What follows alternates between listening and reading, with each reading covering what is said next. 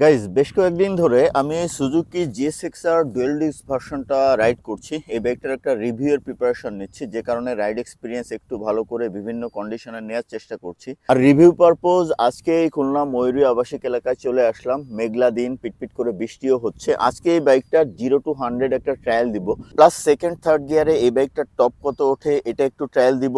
আর আমার বড় একটা লিমিটেশন হচ্ছে, আমি টপ স্পিড চেক করতে পারি না। এর কারণ হচ্ছে খুলনাতে এই রোডটা নাই। যে রোডে টপ স্পিড চেক করব।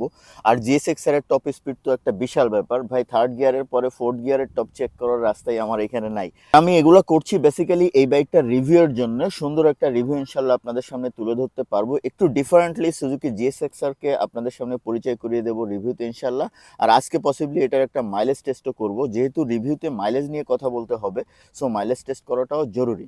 চলেন তাহলে এই বাইকটার জিরো টু হান্ড্রেড টেস্টটা করি plus first gear second gear and third গিয়ারে টপ স্পিড কত যায়, এটা চেক করা যাক।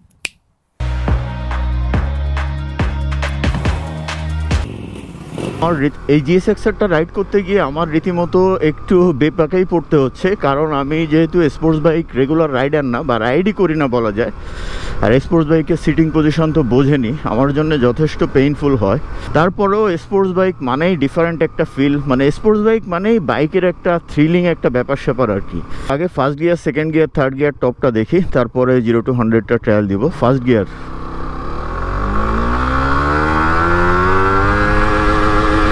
তেপ্পান্নতে lock second gear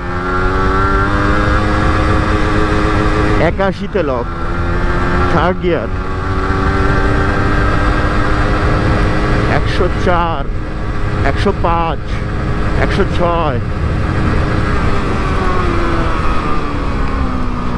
third gear একশো ছয়। জিরো টু হান্ড্রেডকে এখানে একটা ট্রায়াল দিয়ে দিব। সামনে কি অবস্থা আল্লাহ জানে। দেখি। বেশি জায়গা নেবে না। আমার মনে হচ্ছে নয় সেকেন্ড পর্যন্ত সর্বোচ্চ যাইতে পারে। তারপর আল্লাহ ভরসা, দেখি। নিচে বালু জিরো টু হান্ড্রেড ট্রায়ালের আগে ফ্রন্ট টায়ারটা একটু দেখাই। ফ্রন্ট টায়ারটা একেবারে গেছে মানে চেঞ্জ করা ম্যান্ডেটরি যখন স্লো চলা হয়, সামনে এরকম এরকম সামনে এরকম এরকম একটু কাপে, বোঝা যায়।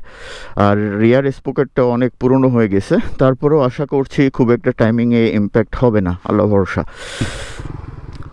দেখি জিরো টু হান্ড্রেড কেমন পারফর্ম করে আল্লাহ ভরসা।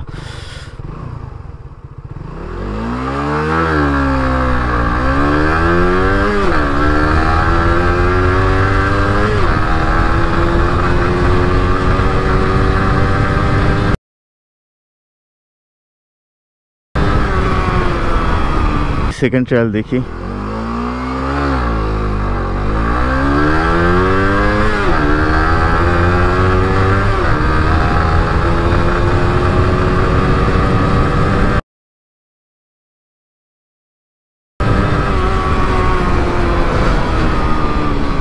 এবার মনে হয় একটু আগেই উঠছে বাট ইনিশিয়ালটা একটু লেট হচ্ছে। কেন লেট হচ্ছে আমি বুঝতে পারলাম না।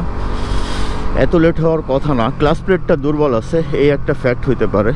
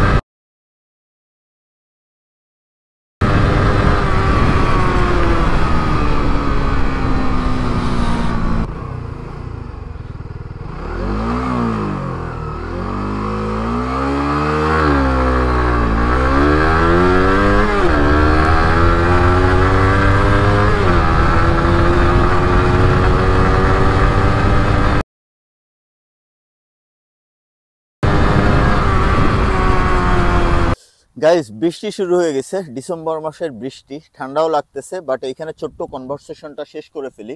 ট্রায়ালের রেজাল্টটা বলি। ফার্স্ট গিয়ারে টপ স্পিড পাইছি আমি হচ্ছে ফিফটি থ্রি সেকেন্ড গিয়ারে পাইছি এইটটি ওয়ান আর থার্ড গিয়ারে পাইছি হচ্ছে একশো ছয়। হয়তো এর থেকে বেশি উঠবে। আগেই দেখিয়েছিলাম যে ফ্রন্ট টায়ারটা ডিফেক্টিভ প্লাস চেন স্পকেটে একটু প্রবলেম আছে। চেন স্পকেটটা চেঞ্জ করতে হবে ইমিডিয়েটলি প্লাস আর একটা বড় প্রবলেম হচ্ছে এটার ক্লাস প্লেটটা কিন্তু ড্যামেজ অবস্থায় আছে। যে কারণে রেজাল্টটা হয়তো আর একটু ভালো হইতে পারতো। আমি এখনও শিওর না রেজাল্ট আরও ভালো হইতো কিনা। জিরো টু হান্ড্রেড এর রেজাল্টটা কি ছিল? জিরো টু হান্ড্রেডে আমার মিনিমাম ছিল দশ পয়েন্ট শূন্য ছয় সেকেন্ডে এরপরে ছিল দশ পয়েন্ট শূন্য আট, এরপরে ছিল দশ পয়েন্ট এগারো সেকেন্ড বা টেন পয়েন্ট ওয়ান ওয়ান সেকেন্ডে। এই ছিল হচ্ছে জিরো টু হান্ড্রেডের ট্রায়াল আমার মনে হয় যে বাইকটা যদি ভালো কন্ডিশনে থাকতো, তাহলে হয়তো নয় সেকেন্ড বা সাড়ে আট সেকেন্ডে একশো উঠবে এটা। গাইজ এখন বৃষ্টি যেভাবে নামছে, এখানে দাঁড়িয়ে কথা বলাটা একটু ডিফিকাল্ট বিদায় নিতে হবে। চলেন, যাইতে যাইতে কথা বলি। আগে গিয়ে কোথাও শেল্টার নিতে হবে, তারপরে বৃষ্টি কমলে রওনা দিব। ও থামনেইলের ছবিটা নিয়ে নেয়। থামনেইলের ছবিটা নিয়ে নিই